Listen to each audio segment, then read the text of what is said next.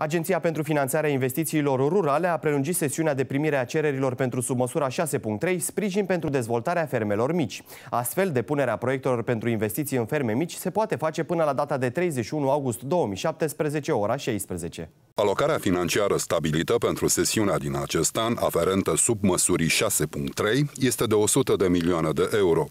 Depunerea proiectelor se face în limita a 200% din alocarea pentru sesiune. Până în prezent au fost depuse online 2152 de cereri de finanțare în valoare totală nerambursabilă de peste 32 de milioane de euro.